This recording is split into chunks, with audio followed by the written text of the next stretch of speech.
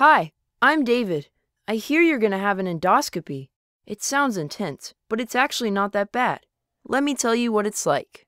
There are two different kinds of endoscopy upper endoscopy and lower endoscopy, or colonoscopy. You may be having both. You can eat a light breakfast the day before the test.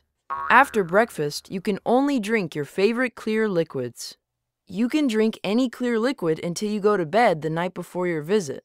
This will help you stay full of liquids and not get too hungry. The day of your test, you cannot drink or eat anything. That can be tough, but don't worry. As soon as the exam is over, you can eat whatever you like again. When you wake up, the nurses will give you a snack. I got a popsicle.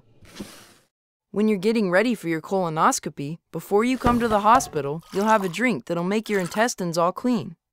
Your doctor may also prescribe a medication, but don't worry, you and your parents will get all the instructions before your visit. You can pick any of these different clear drinks. Gatorade is my favorite. These drinks won't help you, so stick with the clear liquids. To make the special drink, you mix polyethylene glycol with your favorite clear liquid. You have to drink it pretty fast. I drink one cup every 15 to 20 minutes. If you get tired of drinking, make a game out of it.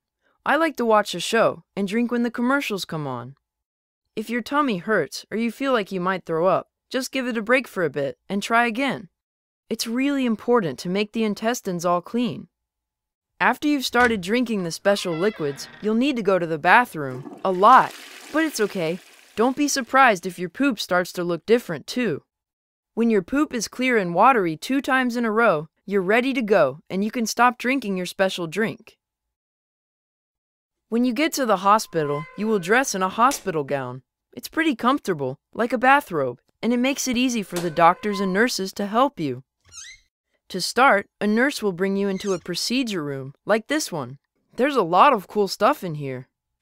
Next, you will meet an anesthesiologist. Wow, that's a long name. They are a doctor who will give you medicine to help you fall asleep.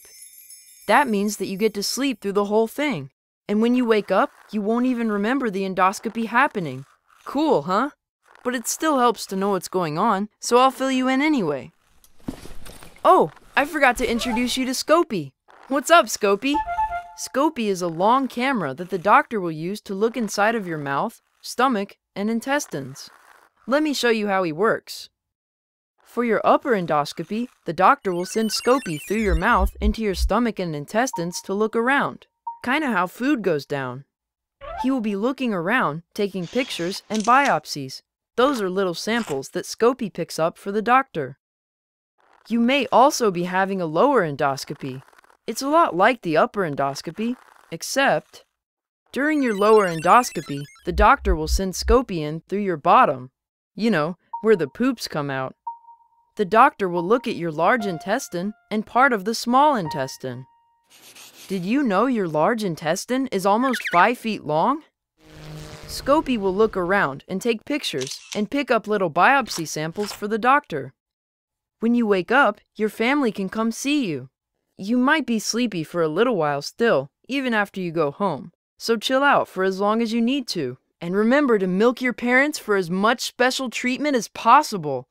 I was able to get lots of ice cream. An endoscopy is a very safe procedure. When you wake up from an upper endoscopy, you may have a bit of a sore throat and feel gassy, but that gets better very quickly. It is very, very, very rare, but possible, for kids to have some bleeding, get an infection, or need a surgeon to fix a tear in the intestine. Most of the time, you get to go home in a few hours. If the doctor took samples, they will be looked at under a microscope, and your family will get the results in 5 to 10 days. I'm glad we were able to hang out for a bit. If you have any questions at all, you can ask the doctor or nurse. Well, I guess I'm done here. That wasn't bad at all.